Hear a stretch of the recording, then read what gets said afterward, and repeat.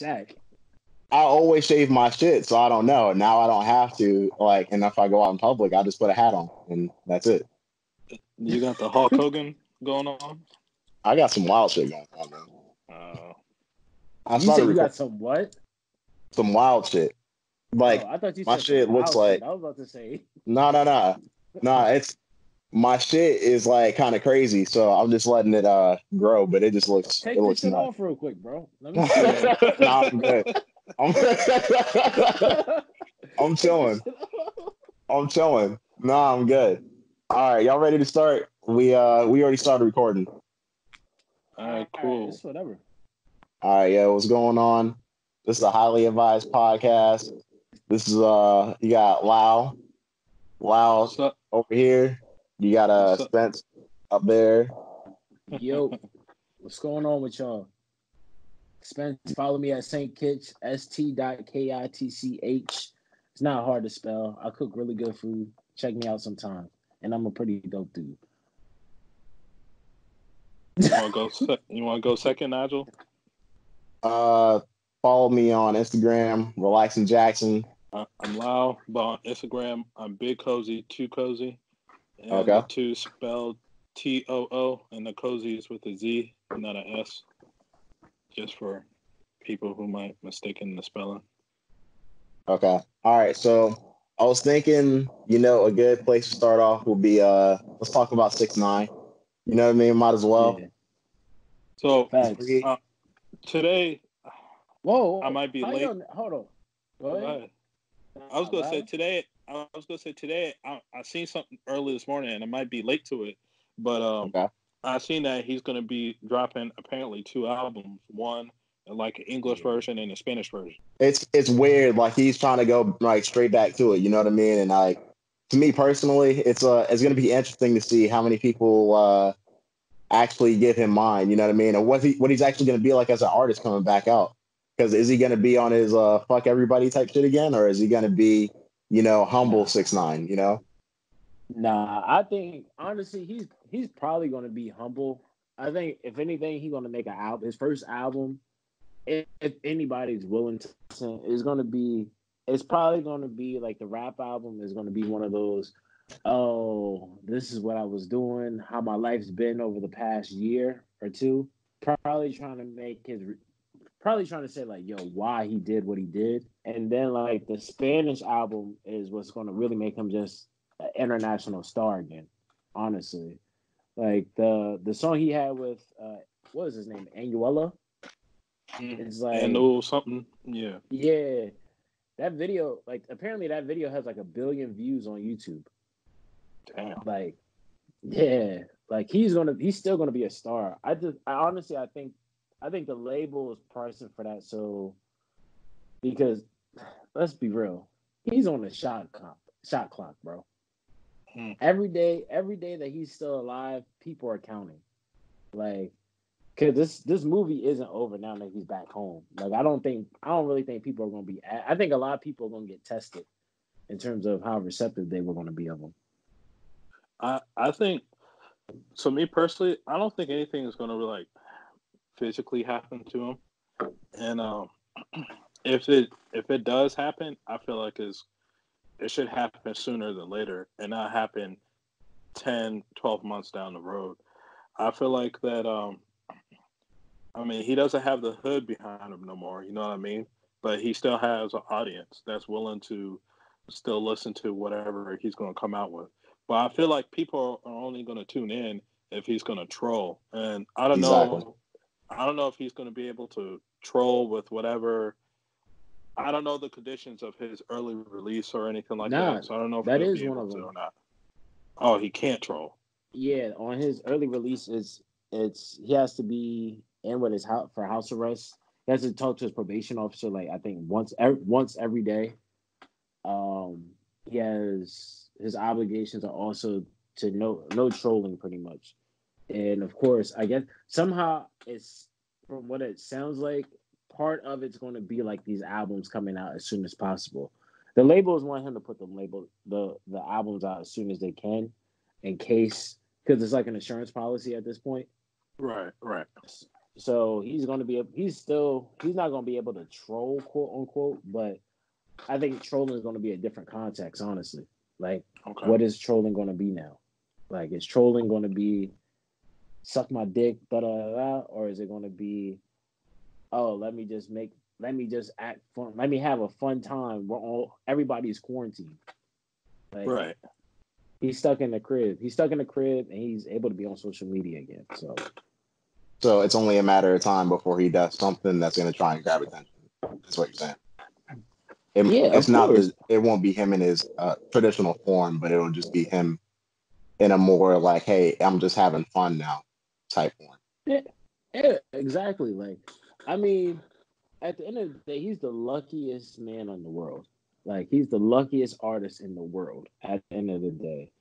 And I think he's going to embellish on that. Like, you gotta think about it. Like, if you go through the situation he went through, and then you get to re- you come back from that, you're going to feel like the luckiest person in the world. And you, in this case, he can't talk what he was talking before, but he's going to troll. Like he's on social media already. Like he's been on Instagram apparently from I guess he likes some rappers' pictures or some shit like that. So and letting you know he's active again on social media. He's probably just waiting for his return. Hmm. It, it's going to be definitely interesting what his what approach is going to take, and you know, it's. I mean, I know everybody wants him to be like what he was before he left, as far as like the you know, trolling and beefing with random rappers and stuff like that. But due to everything going on, you know, it for his safety or whatever, or for for him to not like go back in jail, I don't know.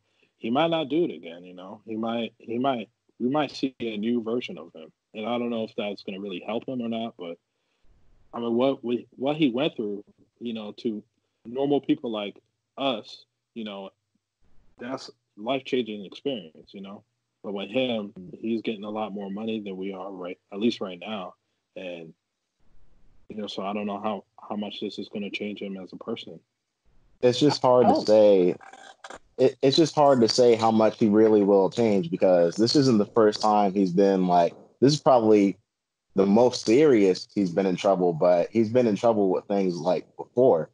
I'm not sure if he keeps on getting away with things, how much he'll actually pull back. I'm I'm very curious to see how much he actually makes an effort to not be that person, if any at all, because he might end up being the same six nine that we always saw. Because in reality, he's not in prison, so it's like you, it's hard to tell somebody who got away scot free to stop doing that thing. You know what I mean? Yeah. Yeah. I mean, you gotta realize, like, I like, I to me, I don't think he was he I, he wasn't to me he wasn't locked up long enough to really change to be honest. Like his literally his when he was asked not appealing but when he was asking for early release apparently the judge at first was like nah because everything like not even well one when he was going when he was trying to get released early everything that they were saying outside of like okay he's the coronavirus he hasn't done this he's a good standing citizen, blah blah blah, was the same shit he was saying when he had like the whole rape case or whatever, or with that whatever that case was with the underage girl back in the day. Right. Like, oh, I'm a good kid, blah blah blah, and even when he had gotten sentencing this time, it was, um, he's a good kid, blah blah blah. But the judge was like, hey, you're a good kid, quote unquote, but you're back in my courtroom, and these are the same things you said last time you were here. And right. you got you got to think about it. Like you just beat you became the biggest artist in the world at one moment in time. Like social media was nothing with you without you at some moment in time. He literally figured out the formula to create a he figured out the formula for the for to have a successful career at yeah. the end of the day. And like I mean, let's be real. Like I just don't think I don't think he's gonna I think his antics will change somewhat, but I think who he is, he's just he's a finesser at to some degree. Like when it's yeah. all said and done, he just knows how to say, okay, I'll do this. Oh, the scum gang stuff isn't working. This wearing blue isn't working. Oh, let's do this video with Gummo. Does the video with Gummo, and it becomes a hit. And I think Najee, you said you listened to the thing on Spotify, right?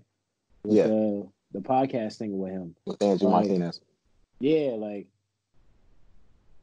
he even at that moment she was saying like once he realized that the success of Gummo, he said, "All right, this is the image that I need to have to keep the success going," and it worked. And now he's probably going to just transition into the Latin market. Yeah. Yep. I I could see that. That's a that's a good uh prediction for real.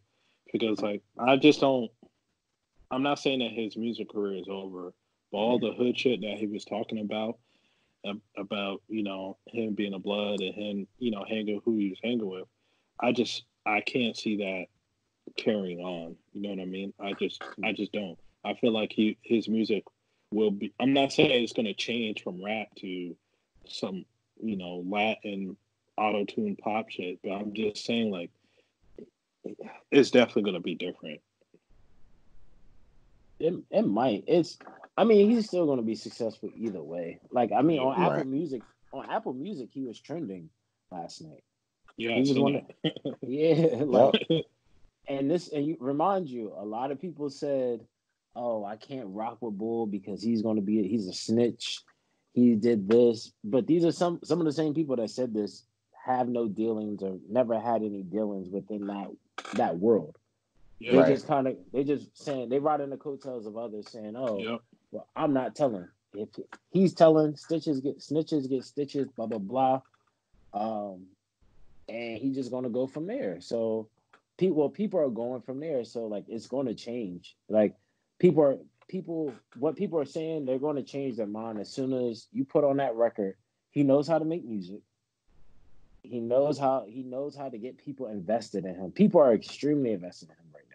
You think when he goes, if he was to go to the Breakfast Club, Angie Martinez, hell, I heard DJ Akademiks say he thinks he could probably sit down with Gayle at this moment, at with Gayle King for an interview, and it's possible. He's It's probably- possible, yeah. It's not far fetched, yeah. Yeah, you think you think all the people that said whatever they had to say about him, not condoning what his actions, you think they're not going to tune in for that? Yeah, exactly.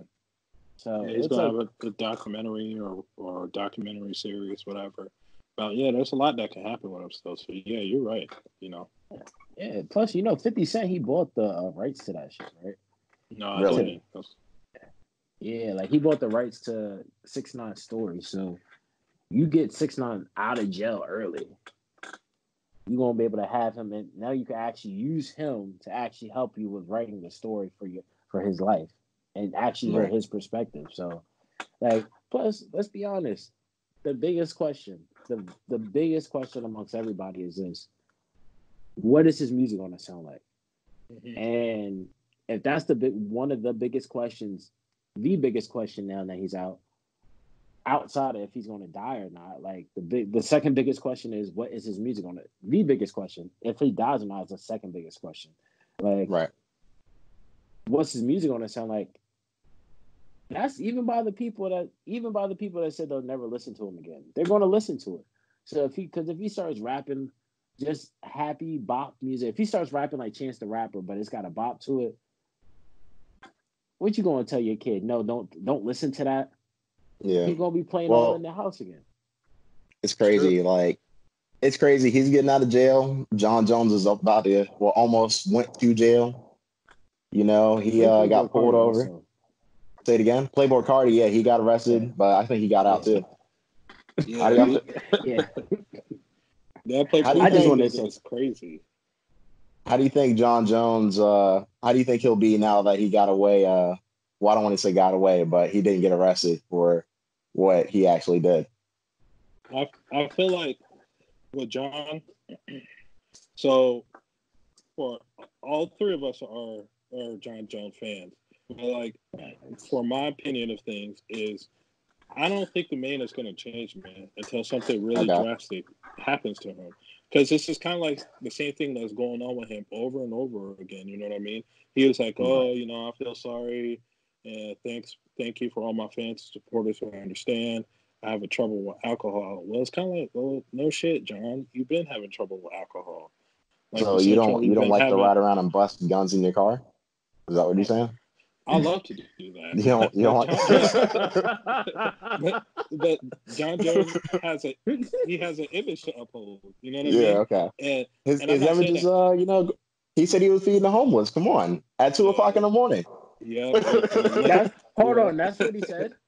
He said, Jon, and I like Jon Jones. He's my favorite fighter, man. But like he, uh, he said a few things. But yeah, he said he was hanging out with the homeless, just chilling out. I, I, it's Oh, oh, Man. he was trying to get. He was just letting him know, yo, I keep the strap with me. That's why he busted the shot off. Hey, I mean, you never know. it. Maybe he's just don't have fun down there. well. Let me ask a question to you guys. Then. What's So, up? out- outside of this, uh, a, a lot of people are thinking that he should be stripped. What do you guys think of that? No, I don't. nah. Because because at the end of the day, what he I mean, what he did was careless, but he didn't hurt anybody. Like nobody got hurt. Like at the end of the day, like he got he didn't go to jail. He didn't have to serve any time.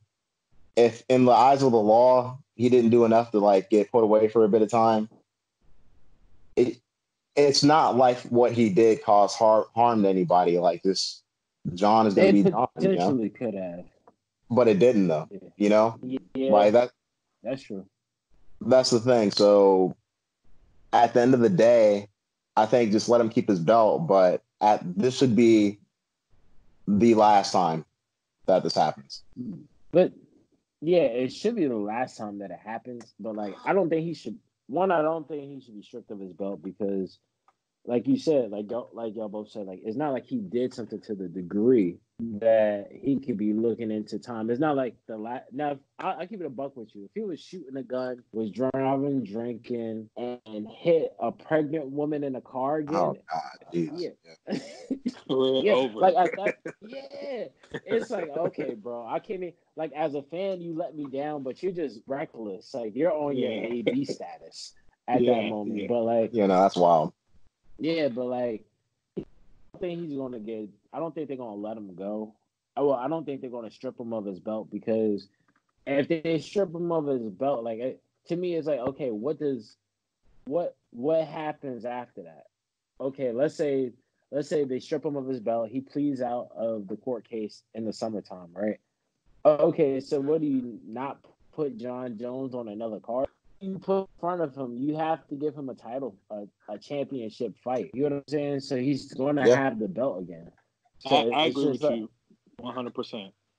Yeah, like only the only uh, only thing that could work for them would be is if they sh- it really wouldn't work though. Like if they stripped him and then said once you're done with your legal situation, you can come back and fight in the UFC, and they force him to go to heavyweight. But shit, if he goes to heavyweight, he wins. Like, like okay, Yeah. now you just got you got this Yeah. reckless guy. You got this extremely reckless guy that can't be beat the greatest fighter of all time, arguably. Like, No, I think he is, man. Huh? I said I think he is. I agree with you. Yeah. I was uh I actually had a debate with some friends the other day. Well, a discussion rather. And we're talking about the whole LeBron being athlete of the year, right?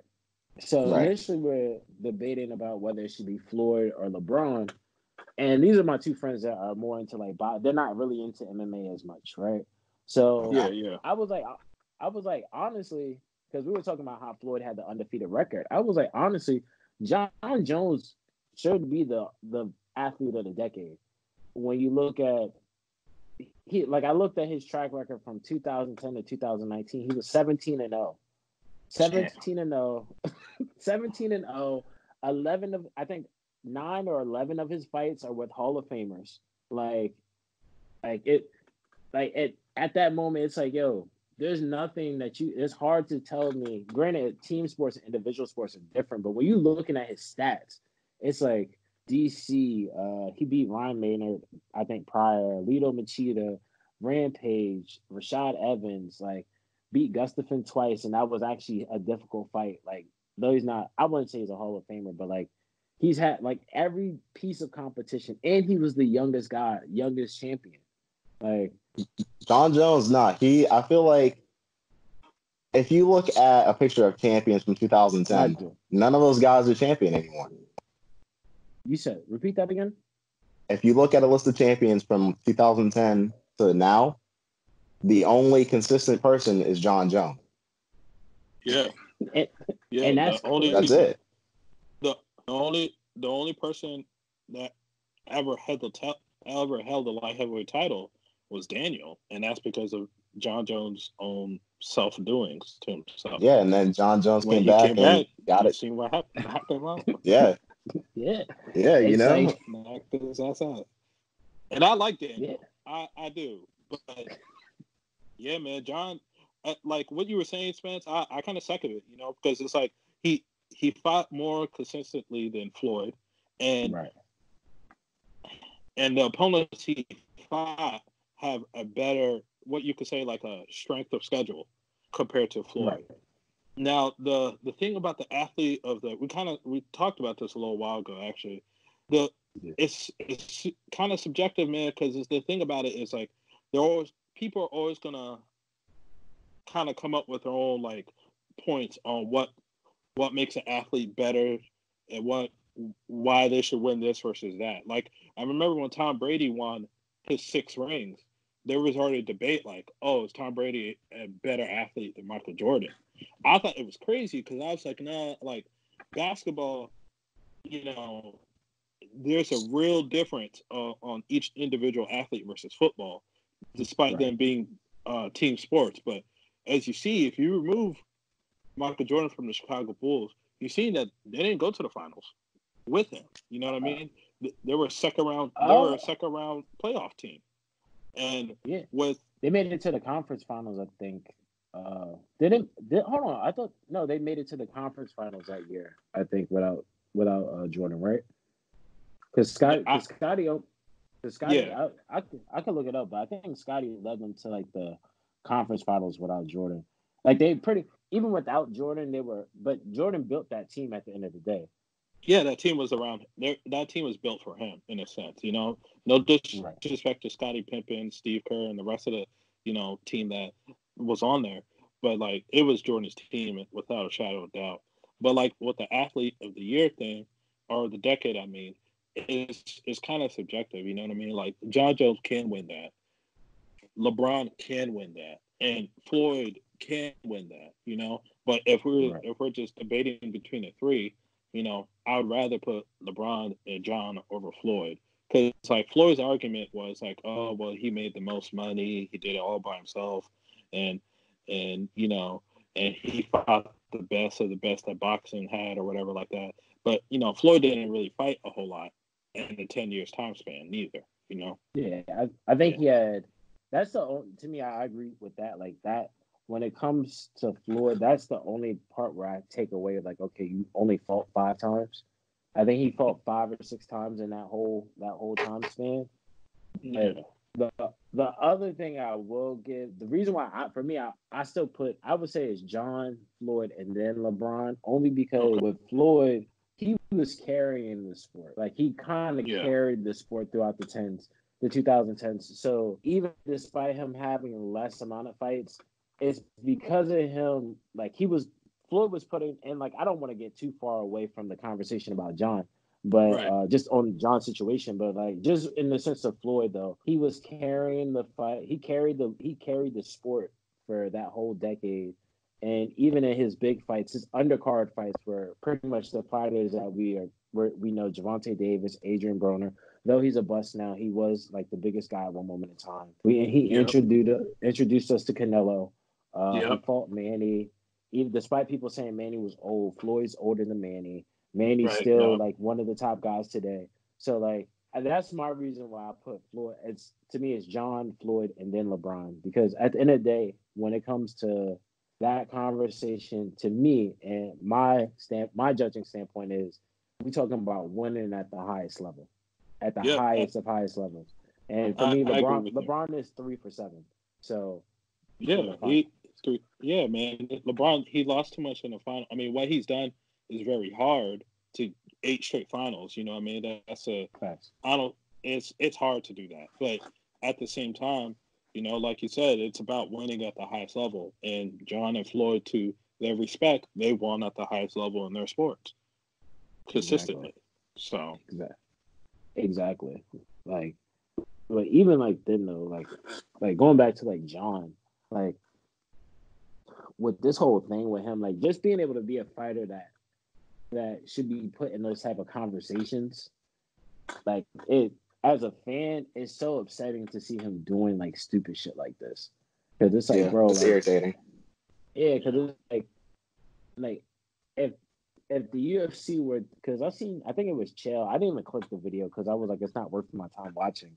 But Chael, it was a title about like, should the UFC get rid of Jon Because in a sense, he is a he's he's a huge commodity to to UFC, but he's also just like he can pull, he can really mess up a good card because you saw Yes. when, when we had the DC fights, um, well, mainly the DC fights, and then just okay, being a championship level fighter, like he really kind of like all his antics kind of robbed us of seeing him fighting against heavyweight fighters just Right. because of those delays kind of now set up things for Dominick Reyes. Like had Jon this been Jon two or three or four years about four years ago, it would have been like, oh shit.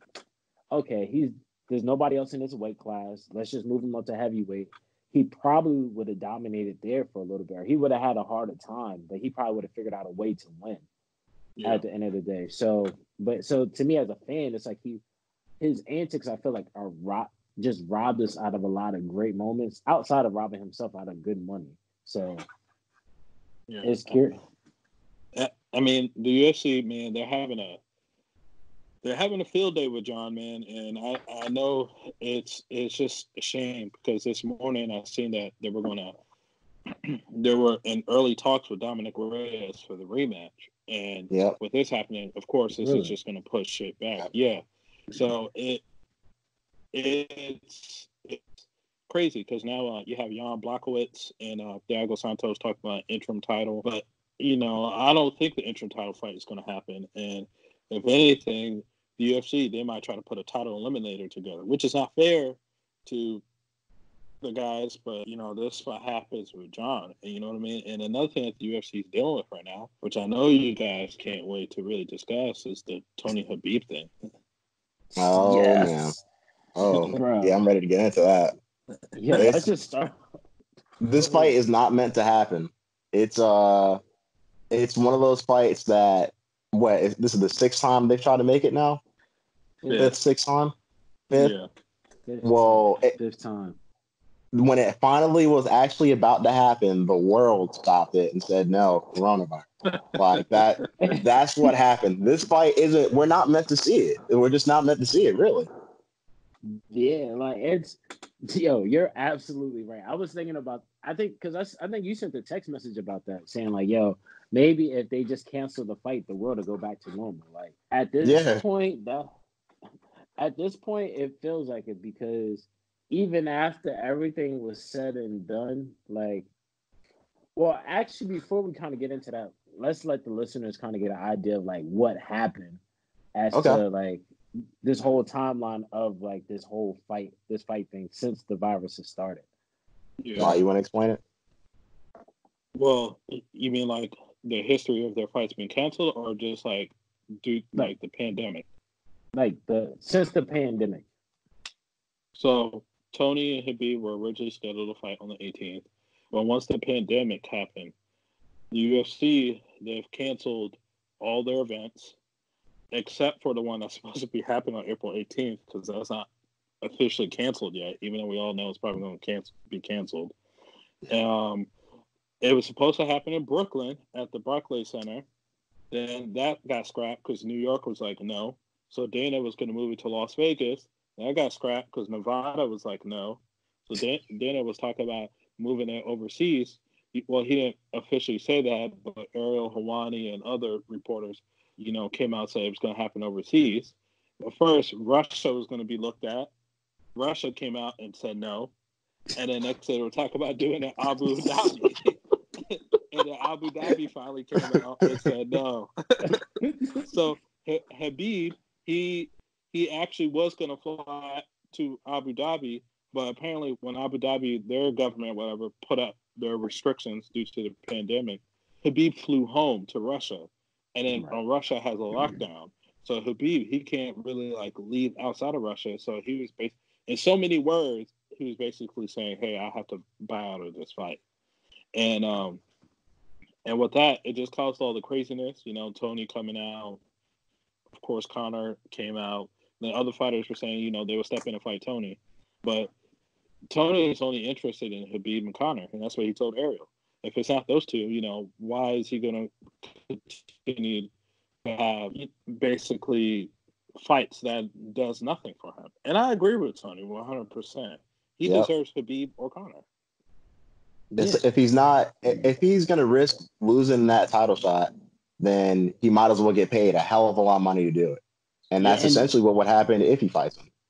Yeah. And and even it's it's the money part, but also at the end of the day, I feel like despite despite how I think now Conor's I well, I can't even say Conor's exposed because after his performance with Cerrone, we don't really know what's gonna like we we saw a couple things. That was a short fight. We saw a couple things from Conor that we've never seen. So we right, don't know okay. the, the caliber of fighter he may be now within within at 155. But even then, like if you gave Tony Justin Gaethje, more than likely the top three fighters of that division, all when it's all said and done, is probably going to be Tony, Khabib, and Conor at the end yeah. of the day. So 100%. So you giving him Justin Gaethje, even outside of just the payday aspect of it, it's like, yo, don't have me fight the number four, number five guy when you were going to have number four and number three fight each other. If you were going to have Gaethje and and Conor fight each other, why are you giving me Gaethje when when we know Conor's ranked higher or he's he's essentially the the biggest draw. He's one of the biggest draws and one of the the fighter that anybody would be willing to see. So. Yeah it makes no sense. Plus, I think it, it would be smarter for Dana to do that because it mm, it it can make things messy if Conor was to lose because it's it becomes like okay now we have to figure now Conor drops even more. I mean, does it make it messy if he if he loses though? Because like at the end of the day, if Conor loses to let's say if he were to fight, uh, you mean if Conor fights Gaethje, right? Yeah, well, no, I'm saying if Conor was to fight Tony, right, and he loses to okay. Tony, yeah. Now, now is pretty much now Tony has an interim belt. He can fight against Khabib. Now, okay, now we have Conor. Are we going to put Conor against Gaethje, or should Gaethje be the next person to have be the next contender if he's the if he's the fourth person in the in the rankings? Well, I think if that was the case and, and Conor lost to Tony, then you can still put Conor against everybody. You're telling me like he lost essentially to the person who's supposed to be fighting for the title. Like that that that doesn't really hurt Conor that much. Now, say if he loses to Gaethje or, or anybody else other than Khabib or Tony, then I I think it does hurt his uh, stock quite a bit. But because Tony is under Khabib, Tony is that that guy right now if he loses to him, it's all right because he's he's highly ranked. Do you guys think that Khabib should be stripped uh, of this? Because that's some people nah. are calling for that too. Why? Nah, nah, I don't. It it would make no sense for him to be stripped because at the end of the day, like I know, I think most fans saying that are were the same ones that were questioning Khabib, like, yo, if you couldn't go to uh, Abu Dhabi, if Abu Dhabi said no, why didn't you just come back to the states? Yeah, and that some because I think even Tony's trying to make it seem like Khabib is running from the fight now at this point by going back to Russia and he can't leave. So the issue I think becomes like you can't strip the man because there's a global crisis. If nobody in the world right. wants to host the fight, that's not his fault that he says any common person, anybody with common sense says, "Oh, there's a a global crisis, and I can't get the fight right now. I'm going back home to train." One where he's he's from a city that has probably the best wrestlers in the world for the past 10, 10, 10 to 15 years possibly at an olympic level so he's going to be able to train with them and be with his family so you can't penalize that man for i don't think it'd be smart to penalize him for that like I, I, agree with you. I don't think he should be stripped. It's it's it's clearly not his fault. You know what I mean? No, exactly. Like it's like, there's a pandemic going on. You know? Yeah, but like even in like so like as like from a fan's perspective though, like do you think we'll ever get to see this fight between him and him and Tony? Because more than likely, because he's even right now, he said he's still training for this fight. Because he in an interview, I, I, it wasn't with Ariel, it was with someone on ESPN. He said, "I'm I'm the champion. I'm a practice. I always." I'm the champion. I always have to be ready. So he's still practicing as if the fight were to happen. So like even if let's say it's scrapped and it can't happen right now. Five times one time it's like diet issues. Khabib had, I think Khabib had a couple issues dieting, uh, going to the hospital. Tony had some issues, tripped over a extension cord and yeah, blew his ACL. like, and like when we finally get the fight, now we get the we finally get the fans. We finally get the fight at a at the highest level that fight can be put at a championship yeah. level. Like yeah. We don't get the fight. Do you think we're ever going to get this fight? And if so, do you think it's when do you think do you think it's going to be a fight that we'll get in the near future, or do you think it's going to be like that grudge match that we never got, and it's going to be like a, a Floyd and Manny in a sense where we got it too late? So I um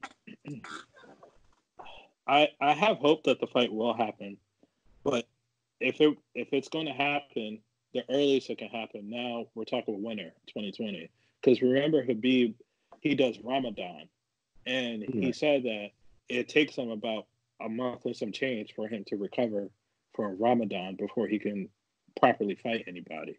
So yeah. Ramadan, you know, you correct me if I'm wrong, guys, but I I know it does start this month, but I think it ends like towards the end of May or something like that, right? So oh, I'm not sure. I know because I know you said something about August. August right. possibly being being the time that he would be. Well, yeah, it's probably around the same time. Go ahead. I I I, I mean it. He could come to fight back in August, but I'm thinking like all the other canceled stuff that the UFC got going on, unless they do a super card, kind of like what we were talking about uh, a while ago, if they're not going to do a super card, putting all the big fights on one card, they're probably going to stretch everything out, which could put stretch the Khabib and Tony fight to like November or December. And plus, mm. I, you know, you can't forget about the face of mixed martial arts, Conor. You know that I know Dana White. He'd rather put on a Conor fight first before Khabib and Tony. That's his priority if you really think about it. I, yeah, yeah. From a from a after like this whole crisis thing, the Conor fight is going to probably have to be the the next thing for for the UFC, just because of like you said, unless it's a super card. Yeah, like you you probably will need you probably will need uh Conor as your biggest as your biggest card because this uh, this virus a, a virus is pretty much stopping every business. So the UFC isn't really make the UFC is probably making money still, but probably what maybe 15 or 20 percent of what it's typically making. Yeah. So that Conor fight would probably be a huge payday. And if that could be, that would be that would be dope. If the first fight, the first big fight in the UFC is a Conor fight after this pandemic is over with. That would be great. You know how, if and if they can make that be the fight, like the first sporting event, major sporting event after this shit is over with, that would be crazy. Yeah, it would be. What What are your thoughts, Nigel, about that? I mean, me personally, I think it might be good to have a super card, if nothing else, just to have like, uh, you can have Conor. I think because Conor fights when he wants to fight. If he's not, you know, ready to go, pretty much whenever, I think they'll just book who they can, and that'll be different champions and whatnot. And Conor, they'll put on more or less when he wants to go. That could be first or that could be second. But like, I think at the same point in time, Conor will like to fight for the title. Maybe they just try and keep uh, Tony, Tony and Khabib on the forefront, so that way they have something for Conor next. Because honestly, I don't think he's many, willing to fight many other people than the champion because he wants the belt back at the end of the day. Before we move on, so next next month the big pay per view was supposed to be uh, Cejudo and Aldo but there's rumors saying that Aldo might not make it due to Brazil going through what they're going through with the pandemic. Right. And then uh, I don't know if you guys are familiar with the fighter Cory Sandhagen. He's like number three or four yeah. in the bantamweight rankings. he's talking about moving in to fight Cejudo. Do you think that they're going to be like, uh, well, since Cejudo is not a big star or a big name fighter like Tony and Khabib, so let's just cancel the event outright, or like, or they're going to be like, hey, we're going to keep the event, and if Aldo can't come, we're going to try to find a replacement. Mm. It might be better to at this. It's I don't know. That's it's weird. That's a that's a hard question because if they don't can if they cancel the fight, if they don't cancel the fight, and they just replace Aldo, it could be it still be a big thing just because there's there's really no sports going on right now, and more right. likely we probably we probably won't have any live sport like high level live sports for probably probably till the summertime possibly because I know basketball's NBA still trying to figure some shit out. But yeah, but like I mean, at the same time though, for just in terms of like that weight class thing, it may be it may be best for for them to push that fight back just so you're able to have Henry Cejudo versus Jose Jose Aldo down the line. I don't know. Like, I, I feel. You take well, risk. You take. I was gonna say you just take risk when you try to replace a fighter because you could get an upset. Let's say if Henry Cejudo gets, let's say they put someone in for Aldo and they just starch, like they just yeah. make Henry Cejudo look like he has no business being in the, the octagon. Like that's now we don't even have now that fight between Cejudo and Aldo probably won't even be a something worth watching or it'll limit your interest to it. So it's like you take those big those type of fights you take well those type of moments, those decisions, you take big risk at the end of the day. Like, yo, if I don't do this shit, we might be good. If I do do this shit, this shit could go left and we could be no good. Like it'd be like saying if they put Justin Gaethje in there to fight uh, to, uh Tony, right? This is something different, right. but he had like they said, okay, we're just gonna give Gaethje to Tony right now. And let's say Gaethje makes Tony look like he has no business being in the ring. He yeah. looks like he just walks right through Tony. Now the convers the conversation with Tony becomes less like, oh well, we don't care to see him fight Khabib anymore because he's not even a worthy opponent in comparison to what Gaethje may be. So like you take well, a lot of you take those type of risks, I think. I, well, I think um with Henry Cejudo in that case, I might be willing to put on the fight still, even though um even though it might not be against Jose Aldo, because I think if you put that fight on, uh, Henry is the A side. So I think he he will be the person to sell that fight. Like as far as uh, the UFC goes, I say you, you might as well keep on going. Now, you know, Henry decides that uh, where the risk comes in that you were talking about, like if Cody goes in there and makes him look like just some bum, then it would it would be he he has to be willing to take the chance with that, which I, I can only imagine he thinks will beat him. But as far as the UFC goes, I think for that specific fight, they should have it go on. For Tony and Khabib, I think the reason that fight sells is because they the best is supposed to be going against the best, unlike right. that fight, which I feel is a little different. Right. Yeah. Yeah. Yeah. I, I agree with you, Nigel, on that. And um, Spencer, you, you mentioned something about like demand and like no live sports. So, right. um, one thing I want to say is like streaming is becoming like very, very prevalent right now. And uh, so, two things for you. And now I want to, and this is for both of you guys to answer. But uh, one, do you think esports are going to really thrive from this? And two, people from like Instagram doing like streaming battles and stuff like that, or or even just streaming music live, whatever. Do you think like we're going to see that like really flourish in this upcoming month or so? Yeah, absolutely. Uh, absolutely, because I've thought about some of this stuff before. Like, I think that this whole pandemic thing and sitting people in the house, I think it's going to just change the way we live overall, the way we consume things, the way we work, because jobs are even. And I don't want to, I don't want to veer too far off from like esports and like battlings and stuff like that, but even in the sense of like jobs, jobs are going to probably say now, hey, we we don't have to. Why do we need to have these offices as much when hell in the twenties? Though in history, they'll look back and say in the twenties, the whole world shut down and everybody was able to be more effective from the comforts of their home. So when it comes to even these aspects of like battles and seeing like like esports and stuff like that, like everything becomes a, a bigger thing. Like you see right now, like the NBA, right? I think the NBA players are doing something like they want to do a, a championship, uh, a championship 2K. like 2K, and I at the end, like just when it's all said and done, like I think anybody, I'm I'm not even a 2K person like that, but that's something I would want to watch because you're actually seeing someone that plays at the highest level play their sport through a virtual game, and you Right. you, you get to see okay, we're going to be able to see what they would do as this if they what their mind what their mental is when it comes to like kind of choreographing a whole team essentially. Yeah. Um, but and then even with music, it's like look at hell, look at um Tory Lanez. He has the highest um highest highest views amongst people or high like the most amount of people coming to a live stream in Right. Instagram history right now with over Yeah, like well- three hundred thousand people. I think he, I Quarantine think was, like, radio. Yep, quarantine radio. Like, I, like you see something like seeing that. Like, if Tory Lane said, "You know what? I'm putting music as a secondary thing from the rest of his career," quarantine radio will probably he could probably go off into quarantine radio and do that as his thing from now on. He would just have to figure out how to monetize from it.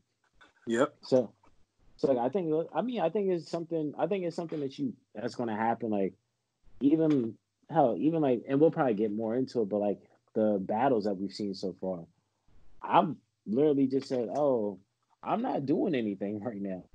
Let me just sit back and watch the battles right now. Like, I can watch my favorite producers of all time or some of the, the people I deem to be some of the greatest producers, and I can actually sit and watch them go neck to neck instead of like the fan. You know how we as fans we always debate this shit anyway.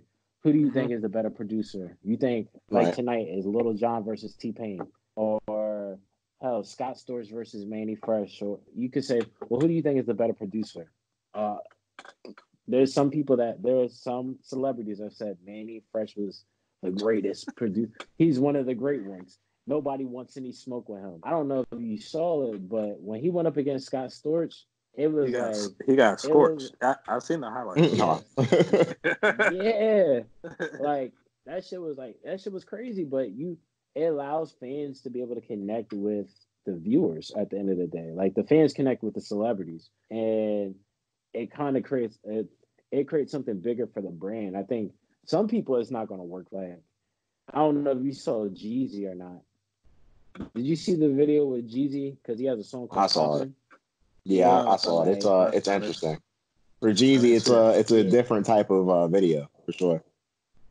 Well, Yeah. kind of explain it because I, I didn't see it. What you guys were talking about? It's um he's dancing. He's kind of dancing and like, but like kind of like the pop block type shit like this, and Yeah. having Yeah. like the like the animation, like the light animations going through while he's doing it because he's trying, I guess, trying to have like a dance for a TikTok. Young Jeezy. Yes, Young Jeezy, yeah, it's uh, Kid- that's what I'm Kid saying. It's, the snowman. it's- yeah, yes, he's out there dancing, man. Like this in shit's the middle of the crazy. grocery store. Yeah, like it's You'll- it's a different never- type of video, man. you, you'll never see Gucci do that, dog. You'll never see Nah. Big Gucci do that. Wow. I fuck with Jeezy though, man. Like that shit, that shit's crazy, man. I saw that earlier today. I was like, nah, it, nah, it is. Did you guys listen to his uh EP that came out? Uh, 20 Pyrex Vision. I want to. oh, I was. I'm not even gonna hold you. I was, and then I saw that video on Twitter, and I said, "Nah." I was like, I was like, whatever you selling, bro. I'm not even trying to buy now. Like, like, like, it's kind of, it's kind of crazy. Like, but oh, before we like jump too far off, like Nigel, what's your thoughts on the question that Lao asked though? What do you mean? Like, in terms of like, do you think like when you see like esports and then seeing like the live streams and everything on social media now, do you like do you think that's going to be a you because you were saying like do you think it's going to be like an impact a, a major impact moving forward? right. yeah I mean, me personally, I I don't think esport I think I think it's gonna be 50-50. I feel like at at some point some people will really gravitate towards watching these um you know online sports and whatever. and that will work. But at the same point in time, I think some people will really realize that they like being outside. And also, businesses will have to also go back to operating like people are outside. Like when I think about all the things that are happening right now, they're all cool and we can all watch them since we have nothing else to do. But when we do have something to do other than sitting inside watching these things, they won't be as prevalent. And that's just the way it is. Now, do I think that they will be? I think they will cater to a certain audience who wants to watch it, but just not for. I don't think that is a business. I don't think that is a way that could last just the way it is now. It would have to change. Something about it would have to change. I mean, it. I I, I think I can see that. Like, I mean, I think something will. I think something will have about it will have to change. Like, I'll take for instance like battle rappers, right? Uh, mm-hmm. you might not. I don't know if you heard of him, but New Jersey Twork, right? He's yep. like one of the. I, I I don't know if I would say he's he's at a top tier level, but he's one of the new newer guys essentially. He's bad. Him, Hollow Da Don, who's a top tier. Argue to me, I argue that he's one of the top four battle rappers of all time. Like they're battling people. They're battling like you. You could pay New Jersey Twork a hundred dollars, and he'll battle you for one, two, one one minute round. So like, imagine being able to go against like your favorite, like like you said that one time about Pat Stay, right? Like, imagine if you said, "Yo, I think I got bars. I could beat Pat Stay," and you just Pat Stay says, "You got to pay me a hundred dollars, and I'll battle you for I'll battle you for a hundred dollars." You mean like on Instagram Live? Yeah. Yeah, like, yeah, yeah. That that would be entertaining too. Actually, yeah, and and yeah. they're doing that. They're doing that now. Even right now, um, like just in just and I'm referring to, to this like what Nigel was saying, like for business wise, like how how does it make sense for the business side of things? Like, I think a lot of people are going to realize that they have to be more independent in terms of how to generate some type of income outside of the quote unquote the machine. So you see someone yeah. like like Twork or I think it was DNA versus uh, John John Da Don. Like they were battling each other. And these are high level names, top tier right. guys. I think um, DNA was on BET and he won like the the champion of the year. He's like a pioneer within battle rap. Like they're battling each other, but you only can access the you to get into the Instagram page. You had to pay ten dollars, so you had to pay ten dollars just so you could watch the battle between oh, the wow. two. Yeah, so and they're just battling through live. So it's like it's one of those things where I think the dynamic is going to change. But like Nigel said, it's just all about what sense does how does it make sense for the business side of things when people are able right. to go back outside. Like, like when when are people when are people actually inside? Do we do these things during the week? Do we do it on like a Thursday night? Because I mean, like in reality, you can make some of the stuff prime time TV or prime time whatever if you do it right. But right. it just won't be like Tory Lanez isn't going to be on live every night because well, one he'll he might do a show, so there's no way he could. There's, I, I doubt that he'll want to do these things that are, that he's doing right now. Like things will just change. I mean, but you. Well, I was I was just gonna say like with that whole thing with Tory Lanez, I wouldn't be surprised if quarantine radio he's able to take. I mean, because quarantine radio at this point is a huge success, primarily through like chicks shaking their ass and shit. But I think he could say, okay, like you said, like he has shows and everything like that. But if he says, all right, so on this time every night or this time Eastern time, whatever, let's say nine o'clock Eastern time, eight o'clock Eastern time, every night or once a week throughout the duration of the year, I will have quarantine radio. So that means the girl, those girls still have a chance to get on live because I mean, a lot of do a lot of people relationships are messing getting messed up because of this shit. But like, you'll still be able, people are be still be willing to go into, still go on quarantine quarantine what what is it quarantine radio like people still want to go on quarantine radio it's just i think the way he'll have to monetize it is he'll, he may end up monetizing it through um i think it was like caffeine or caffeine is like they're like they're like the live stream thing that they do with like uh he has like PlayStation and URL and shit like that. Or he may just turn quarantine radio into something and sell it to Apple Music. And now he has cool. Now he's getting paid for quarantine radio at least once a week. The same way uh, Drake had like the OVO sound radio. Yeah. Yeah, is that is that still going on? OVO Sound Radio and the Travis Scott one and all that. Um, I, I couldn't even tell you. I, I think I think it has. I think they still have their moments, just not as much anymore. Yeah, that that was a thing in like 2016, man. OVO Sound Radio. That I I mean, for us Apple Music guys, you know, because I know Nigel didn't doesn't get to experience. Nope. Okay. That's what it is. He doesn't he didn't get to experience wave, wave no, I'm radio. The struggles the man had to face, man. Like you got. Have that. y'all have y'all uh, listened to any of the new music that's been coming out recently? yeah. Yeah. Well, have y'all heard not- not- Lulu?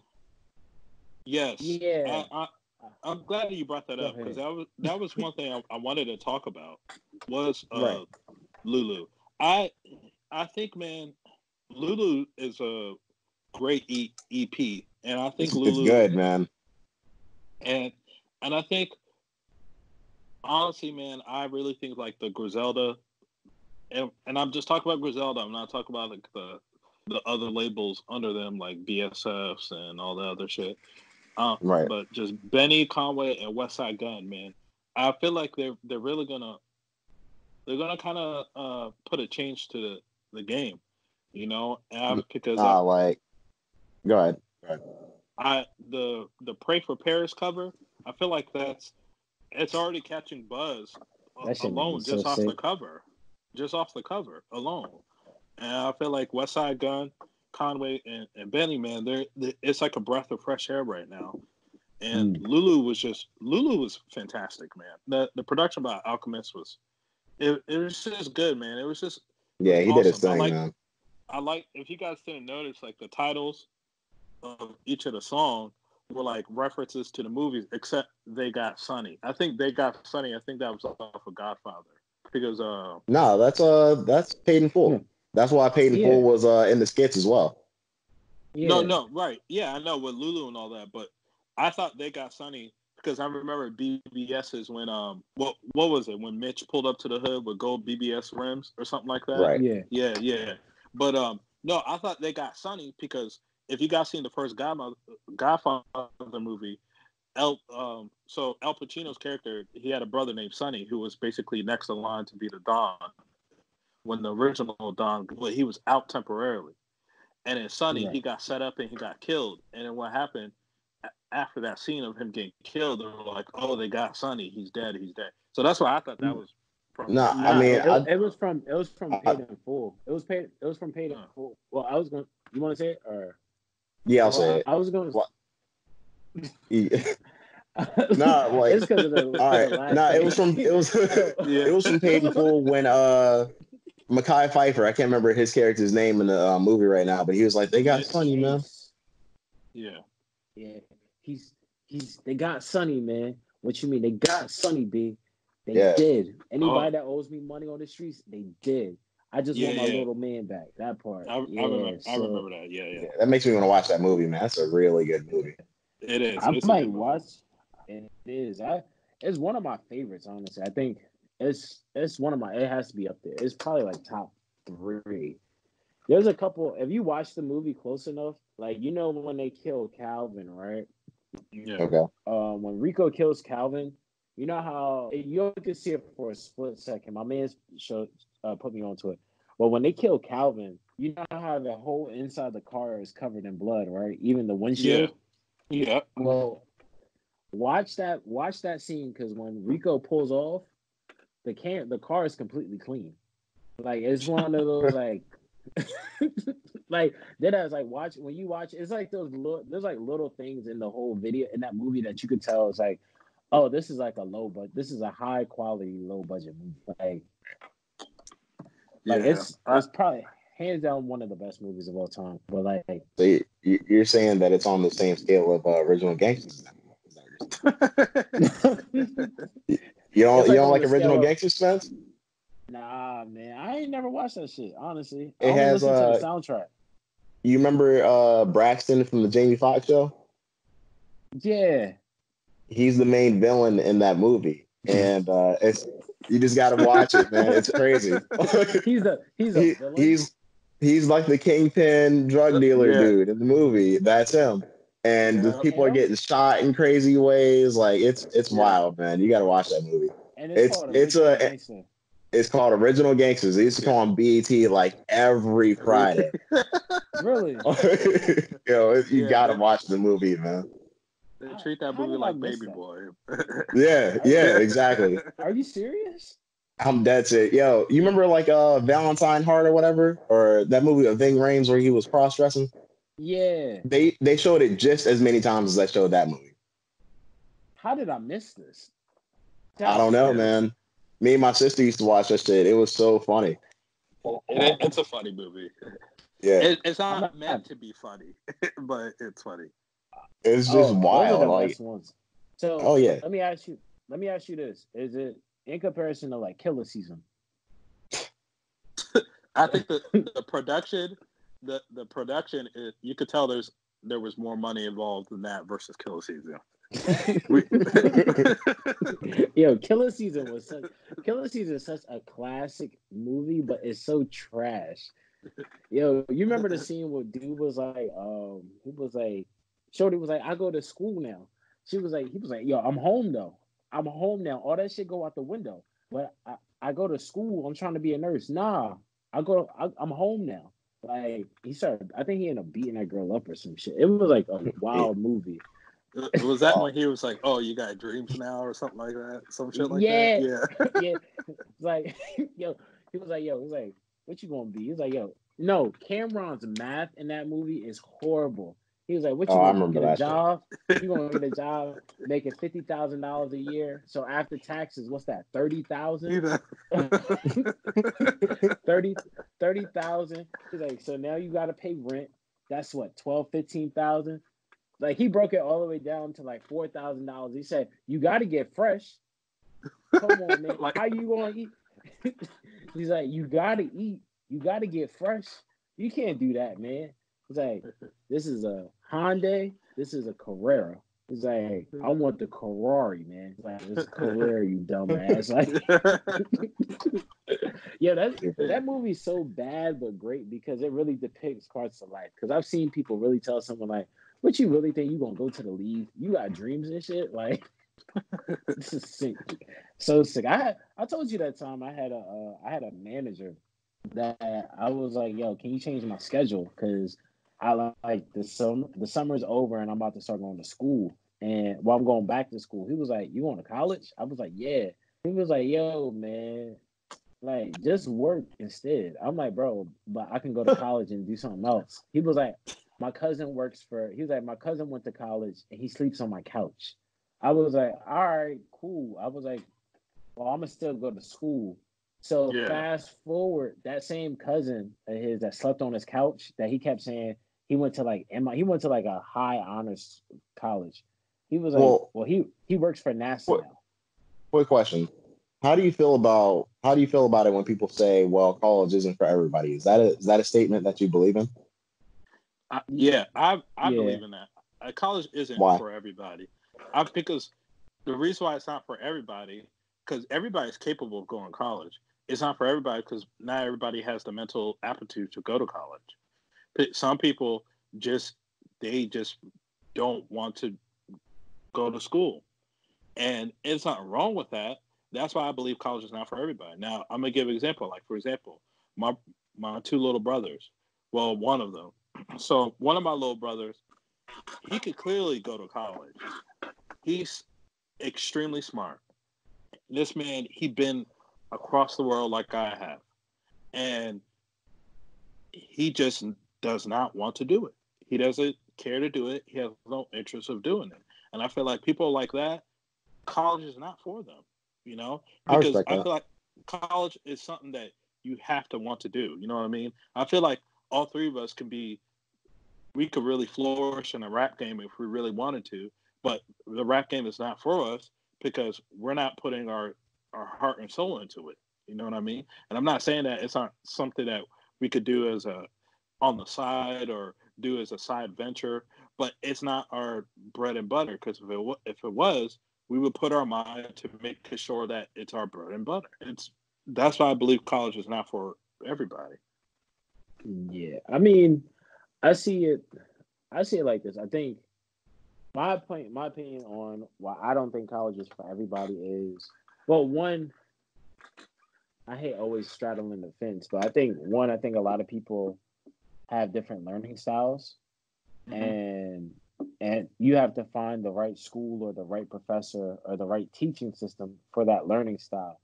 And you have a lot of people, to be honest with you, like I know people that like I like the stuff I go to school for, right? Like a lot of the stuff I know, I knew before I went to college.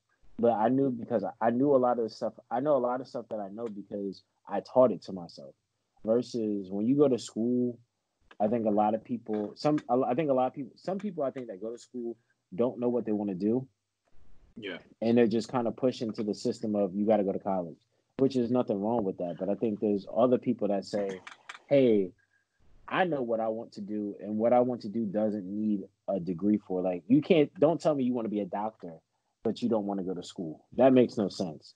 But yeah, or it's like, uh, I, you've heard people say, "Oh, like I want to be this, that, or the third, but I don't want to read all those books." Like, you know yeah. what I mean? Like, yeah. Nah, I've heard that. It's crazy. Yeah, it, it's real though. I've heard that before. Like, it's like, oh, nah, you know, I just don't want to. I don't want to. Pretty much, they don't want to apply themselves to get the end result, and it's like, no, that's not how it works. Like Fifty Cent talked about this before, and that's one of like I always tell people when the goal I one of the goals I have is like to make enough money that my child has the option. Like, hey, I'm gonna teach you the game, and what you do with it is what you do with it. Now, if you want to go and go to school, this money can fund you going to school. If you want to use the money to start a business or start a venture in something you want to do, you can do that as well. Because it all like one thing I like it all translates no matter what. Like business acumen is business acumen. If you know how to shake and bake in a room, you know how to shake and bake in a room. Right. And a lot of times the thing a lot of things that you learn in college isn't always it doesn't always translate to the to the real world like like so to me it's just like okay you can you don't have people don't everybody doesn't have to go to college if you know what you want to be definitely you know right. what you want to be and you know to get to your goal you don't need school.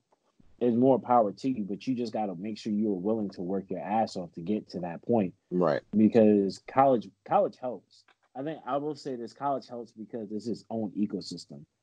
Like like I always tell people, I've met people, I've met people and created resources that I would never have had I never went to college, and found opportunities that I would probably that I'm not gonna say I never would have found them, but it would have been very unlikely for me to find them had I not gone to college. So, well, well, I'm sorry, go ahead. Well, go ahead. Well, pretty much like the way I see it is like it's not necessarily it's not necessarily the most important not the most important that you go to college, but it is that it is important that you have a goal and you need to be working towards that goal and it can't be some like oh I want to be chilling at the as a manager at McDonald's like that can't be your goal like you have to have you have to aspire say it again I was gonna say you'd be surprised I've I've met people. Trust me, bro. I've met people that they've said like, "Oh, you know, I can get a job working at let's say, let's say, we'll just say for instance, the post office, right?" Well, and hold on, said, hold on, wait, real quick before you say that. My bad. I was gonna say, um, you should have a goal to be something greater. You know what I mean? At the end right. of the day. Now, how you how you get there is how you get there. It doesn't have to be college, the military in particular, but you shouldn't aspire to be some bum. Like, you know what I mean? Like you should I I mean that's just it. Like have your aspirations high and however you get there is how you choose it. But like you said, Spence, like you should have the option on how you do it. Or you would like to provide the option. Exactly. No, I think I my bad. Go ahead, Spence. You already talked. Well, my bad. Oh no, you straight. Um, no, it's just my thing is like, yeah, like you have to have the aspirations, and in a dream world, I think it it would be beautiful for all of us to be able to turn 18 and our parents be able to give us the option of hey you can do this or you can do that and this is this is the i'm gonna give you the highest level of support that i can give you that a lot of people aren't are unable to give. And for some people it's hard for a lot of people that's hard to have that ability to be provided that. But i think it, like you said it comes down to aspirations at the end of the day. Like you look at someone like nipsey hussle for instance right? Like a brilliant guy extremely smart was able to figure out what he knew what he wanted to do at a at a younger age no matter despite whatever was going on in his life and he found a way. And but he also realized it wasn't like he was just chilling, smoking weed, recording music, and said, "We just gonna keep putting this shit out, and we'll figure it out." Like he figured, he was figuring out along the way. But like when you listen to interviews and look at a lot of things about him, he did a lot of reading. He went to a lot of like seminars to learn more about the business. So he did his own external learning without actually having to go to school. Like he could have went to a a college that could have taught him about the music business and then said, okay, let's apply this. Like now, granted, there's so many other factors that go into that that could lead him not to not have that, not allow him to be capable of doing something like that at the moment. But he could go and say, like, let me do that. Or he said, well, I'm gonna just invest in myself. All right, I'm gonna just buy the book, every book that I can think of that I that I know is gonna help me grow and see the world from a new perspective. Because a lot of shit at the end of the day, a lot of great people write books about how they became great people. And if you're willing to crack that shit open, you can find you can learn a lot from another man that uh, you can learn a lot from a man that's not even alive anymore. Not even and not even just referring to Nipsey Hussle. Rest in peace, because it's like his it just his year anniversary just happened. But like you you don't always need that. It's just like yo, you can do other things to get to you can do other things to get to the point. But like you said, some people just don't have the aspirations, or they have the aspirations but not the work ethic. Yeah, right. And that's what it boils yeah. down to. Yeah, you need both to be successful. It's just that. Or mm-hmm. like if you're if if you're like uh if your standard for success is just you know chilling out like smoking weed every day, I only want to say that like if you're if you're comfortable with this yeah, you know what I mean. If your bare minimum isn't high, then I mean you don't really need to aim that high. But I would hope that you know somebody I know would have aspirations to be a little bit more than just the bare minimum, just getting by through life. Yeah, you you you you want to surround yourself around people who who have the same mindset as you do. You know what I mean? Like all three of us have individual goals to be successful, but we all three of us, we want to be successful. We all want to have happy lives. And whether we have big families or not, the point is that we want to be successful.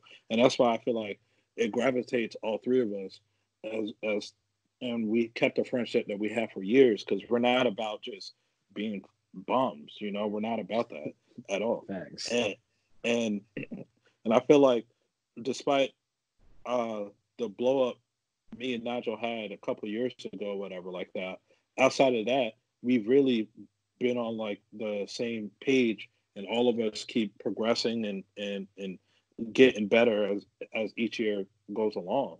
And, uh, and I feel like that if you're if you hang around 10 bums or nine bums, right, as the old saying goes, it makes you a bum as well. You know what I mean? And, and if you, and, go ahead. What 50 Oh, said? no, I was going, no, nah, 50 said, it was like, yo, it was like, if you hang around niggas, if you just gonna hang around people that's just chilling in the hood all day, what the fuck can they teach you? Like yeah. what the fuck? Like if you just sitting around smoking weed, drinking all day, what can you teach? What can you teach me? You can't bring nothing to the plate. Yeah. Like you're only as good as those you surround yourself with. Absolutely, man, and and that's why like seeing what you guys do and all that is is really inspirational, and it, and it makes me be like, okay, you know, what what are you doing, and let me find out what you're doing because I'm not looking for the homie handout because I don't believe the homie handout helps helps anybody. You know what I mean? I feel like you know passing all pass along whatever knowledge you got, so I could take that and grow into what I grow into, and I'll pass my knowledge on along to the next person, and they grow into what they can grow into. But yeah, like it's you're right though. Like you know, if you're just in the hood all the time, you you're not gonna really learn unless you aspire to be the top drug dealer in your local project. But it, but even it's not even it don't even have to be that. Like like I always tell like my thing is what I always tell people is your level of success and my level of success could be vastly different. But I'm not I won't judge you on your success because at the end of the day, like everybody's story is different, right? Yeah. So like like you like we all know people we've all been through that like, we've been through that experience to some capacity of like our upbringing may not have been the best to some degree, right? right? So for us, we may be the we may be the one of the few that say, "Hey, I want to do this. My aspirations is this." And like I was like shit, I was like eight years old, and I had a cousin tell me. I told my cousin I wanted to be the first black president, right? She was like, "You," she was like, "Yo, you're never gonna be shit."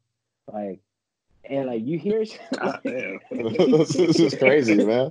Yeah, I was crazy. I was like, I was like eight years old, right? But I was fortunate enough, like, though, like I didn't like my mother provided the best she could. My grand, I had like a, I had a good family structure in terms. My mother, my aunt, my grandmother, my uncle, all helped raise just me.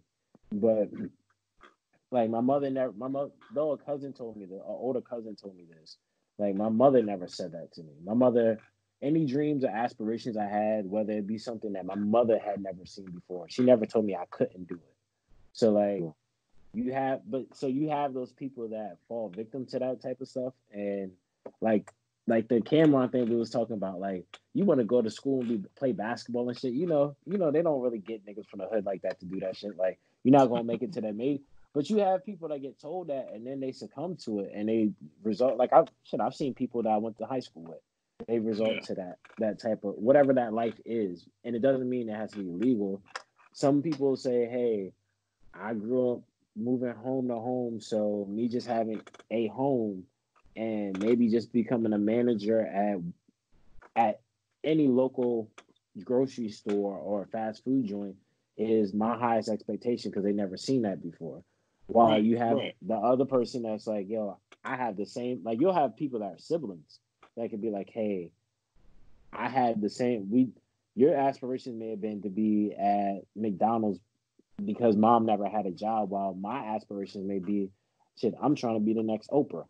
Like, though you never seen it, you just create. You figure out a way. You have to figure out how to get to that point, and it's all about yeah. just the work ethic for people. So, like, the is there um, up, is there um before we move on anything else? Is there anything next that y'all wanted to talk about in particular? Well, when you was, well, I actually, well, I wanted to bring up like that whole because when he was talking about Lulu, right? Like I listened to that album and I like for the most part, I like most of the songs. I think it's like maybe I think it's that what's that one song? Um, is it 14K or something like that? Or the intro, first song, whatever that. It was the song, whatever that song was that he put a video out for. Oh, and, Calvin. Yeah, I didn't care for that song. Like me neither. I I I did I agree with you that because I I wish he didn't rap like the flow that he had for that song. It was kind of like the yeah like Amigos flow type of deal. I was like, it's the song's not terrible, but it's just like I, I, I wish that he rapped how he normally would rap on, like he did for the other song. So I like uh, that. Yeah, I didn't care for that. Really? I thought I thought it was a good song. Yeah, like I, I like that shit. Are you serious? It's good to run to. Yeah, like I was running to that shit, and I was like, oh, like I, I fuck with this. Yeah, like while while I can understand, I honestly like it when those Griselda guys like they they do that different type of flow because only because we hear them do they they're what they do, but I like yeah. to hear them just kind of have with a little bit of variety. So I'm not yeah, I'm not mad at it. I personally like the song. Yeah, I, for me it, it was just like I don't know maybe I don't know what it was. Well, for me you got to realize I outside of anything that Conway's been featured on, I've never listened to his music solely by itself. So this is yeah, he has a good project out. Yeah, like Lulu, I listened to Lulu, but Calvin was the first time me listening to a Conway song ever.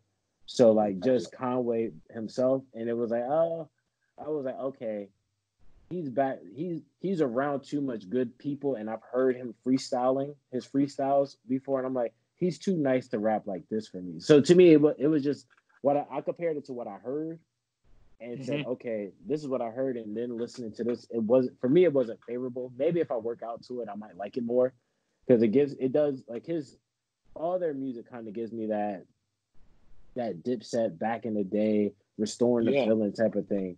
Like yeah, yeah, man. That, that early 2000s. Back. Yeah. that was cr- crazy thing is I was thinking about this. I was like, this music reminds me of like that restoring the feeling. I was like, what's Mhm. crazy is in like 20 or 20 or 25 years from now, right? You're gonna have a kid that's in his 20s hearing like someone, some new rapper sound like Lil Uzi Vert or Playboi Carti and be like, yo, he's restoring the feeling now. Like that's Yeah. kind of crazy. Like when you think It's weird. It's weird. It is weird to think about it like that. It's like you're like, what feeling were y'all feeling? Like I wasn't. Yeah. It's like, You know what I mean? it's like, But it's like, yo, he's talking about that Xanax and that drug shit, man. Like, it, it reminds me of like, yo, I need that. Lil- yeah, you remember when Lil Pump was out? Like, it was lit. It was like, what? So, No. but now, like, even with that shit though, like his his album was good overall. That Pray for Paris shit, I can't wait because that's the seventeenth, right? Or yep, 17th, man. 17th. So like I, I can't wait to see the West Side, that West Side thing. Did you see the snippet that he put on um on his Instagram with the guy tap dancing? no. I seen that, and uh, yeah, That it's, it's on hard. his page right now. Yeah, I was gonna say, I, it seems like he's really taking an artistic approach to to this album, and I'm really interested. You know the Instagram uh, guy, Jay Versace. He's like a comedian or whatever. Okay, so his thing, Oh, the, he, the little black kid, right? yeah, yeah, yeah, him. Yeah. So apparently, I didn't know this, but he produces beats, and he produced one of the beats on the album. Get out of here. Are you serious? Lying, bro. hold on, hold on. I know who you're talking about. He produces music also. Yeah, he does. And- And, Westside Gunn came out in one of his Instagram stories, like, yeah, this song is produced by Jay Versace, and it's going to be on the album. That's dope. Crazy. That's gonna be fire. Yeah, I, I was surprised. Now I don't know if Jay Versace did the whole production, or if it was one of those like collaboration productions. Sometimes producers do, but Right. he definitely tagged his name on the thing. That that's crazy. It, it probably is gonna. It, honestly, it may just be one of those like. It, who knows? Jay Versace may have been the guy that produced it initially, Yeah, and like he put like the the skeleton to it, and then maybe just from that artistic standpoint, like that West Side's on, that it may be some other shit to it, like because even like seeing the cover, like West Side has like that real artistic approach at the end of the day, like kind of like like this music. It, I don't, I don't. Even, it's a music ear, but also just uh, art, artistic, creative standpoint. Because we're kind of getting close on time. Like, is there anything uh that else that we had to Oh. talk about that was like pressing? Yeah, well, I want to because we didn't really talk about it. Was the Drake song, the Toosie Slide? Well, let me just ask y'all what y'all thoughts on the song first before I ask you anything else. Yeah, it it just sounds like a I don't know. It it's nothing like crazy, you know. It's it's a good song. It's not a terrible song, you know. It just is what it is. It's, you know, Drake actually making a dance. It, you know, it's cool for that. It's something for Instagram people to you know go and make TikTok with. So you're not. This is one of those Drake songs that I'm assuming neither that you're just not like an entirely big fan of. Them. No, I mean it just doesn't sound like. It, to me, it's just a cool song. It's nothing that like blows my mind. That's all. Because I, I like with Desires, right? You were like, yo, this song is insane, and and you're right. It, it's a, Desires was a good song, but yeah, uh, it's a really good song. and Yeah, but look, just hearing how you talk about Toosie Slide, I can tell. I'm like, yeah, th- not this is not a Naja song. I can tell. Well, how do you how do you feel about it? I think Toosie Slide is a good song. I and and I think that it's a, it's like the perfect kind of song for what's going on right now because of like like you said, a lot of people are going to go do the TikTok things with the dancing and all that. You already have videos out on it too, and um, and I think it's a good catchy song. I feel like that's a song that is definitely going to chart, and that's a song we might hear on the album. You know, and and do I think it's song of the year type shit? No, but it, it I feel like it's a definitely a song I could definitely listen to for sure. Yeah, no, it's not a bad song. yeah. It's not bad. It's just like I went back to listen to like some of his other work after mm-hmm. hearing that song, and I was just like, in the catalog of Drake, it's like um, it's like mid. It's some mid, honestly. Like Yeah, yeah, it's definitely Like, a mid eh, song. Yeah, like because it's good. Don't get me wrong. it's just the caliber of who Drake is. He was just like, oh, you know, I, I, I still put out good music, even at a mid level. But to me, I think I only thing I don't the thing I don't like about the song is like I can it's blatant that he's really chasing the that whole the viral success with like a TikTok song. Like when you see like Meg, right? Meg the Stallion. Yeah.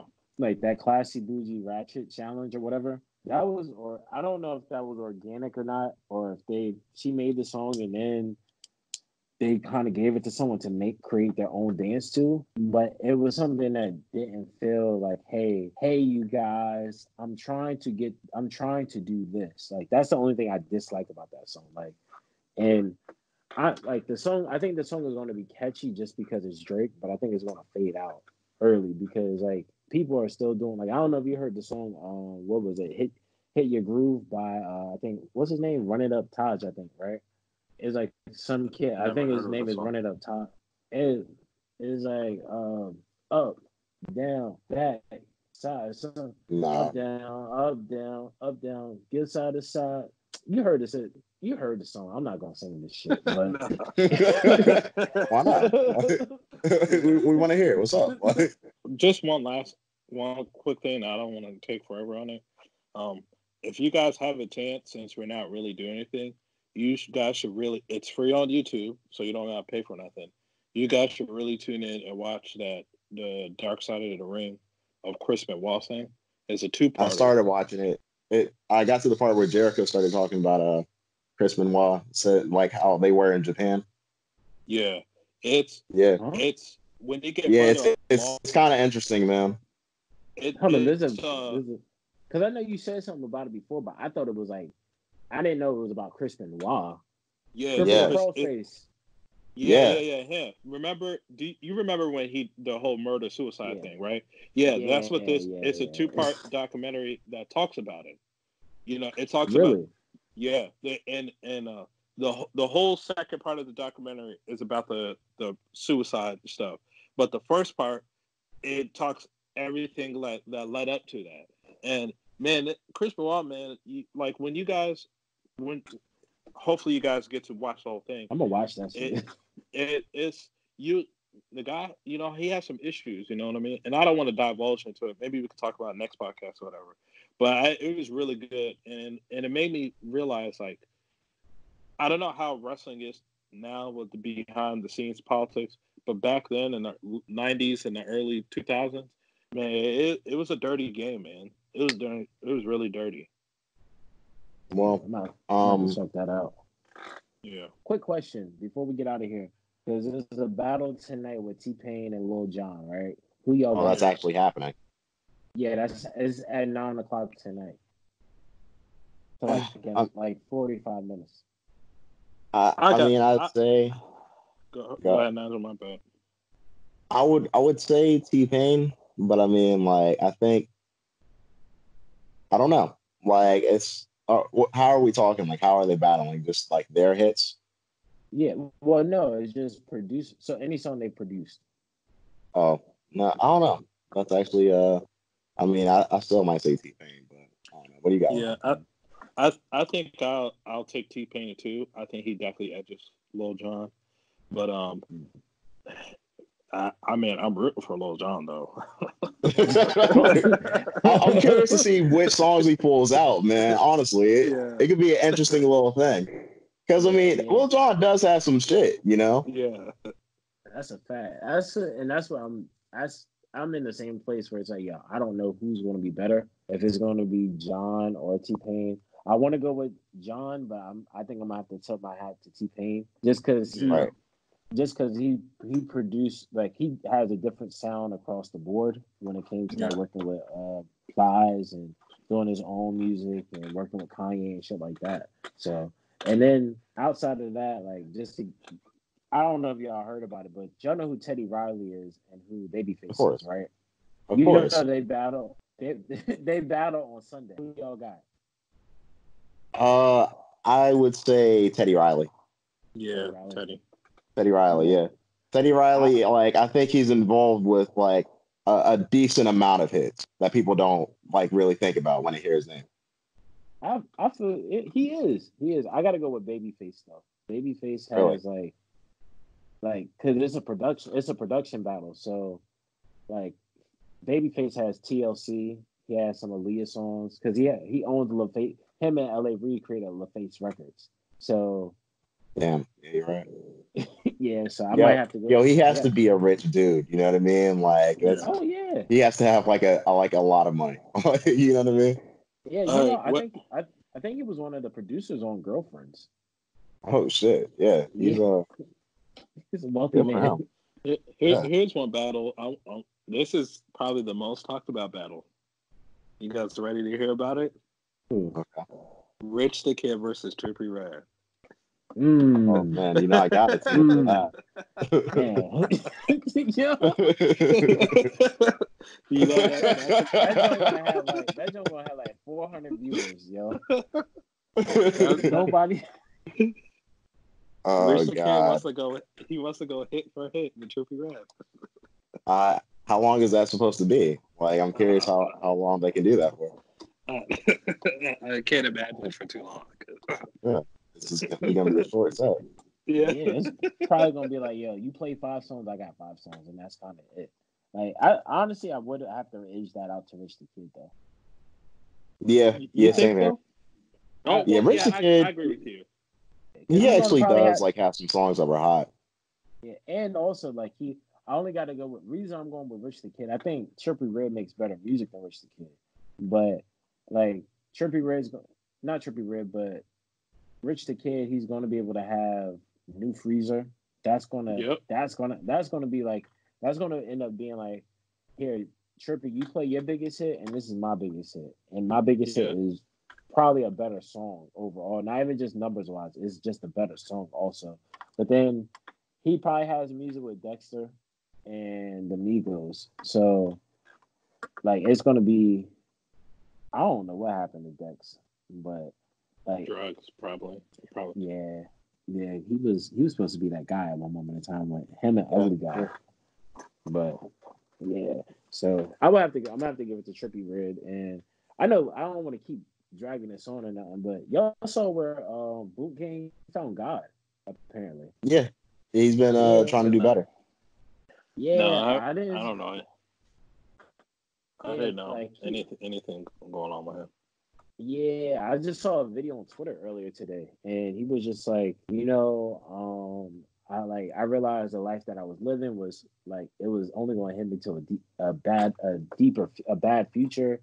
Um, like I know I did a lot of stupid stuff, but I don't want to be identified as Boonk anymore. I want to actually be like as Joey Gabbana. I'm actually some. Um, it allows me to brush away who I once was. I think he's like sober now. I don't think he does drugs. He's like he was like I just want to. He's like I just want to give my thanks to God. He's like I've written books. Like he's like a whole nother person now. So he's gonna get rid of his face tattoos? That's the question, because yeah, face tattoos, the face tattoos still tell me Boonk lives there somewhere. So um, I don't know, but yeah, I think that's. I think I think we should be good with this. I think we should end it on this note. Okay. All right. Well, final question of the uh, evening, fellas, before we say our goodbyes and just yes or no answer. Whole Lotta Red comes out 2020. I thought you were gonna ask if we were watching WrestleMania. Uh, Whole Lotta Red uh, 2020. Just yes or no. No. What is that? now, do you want to explain? uh, Whole Lotta Red is supposed to be the new title of Playboi Carti's album. Yeah. I'm gonna go with yes. So, I'm gonna go with yes because he's gonna need the. Money. I think he should. If it doesn't come out in 2020, then it needs to drop immediately in 2000 in in 2021.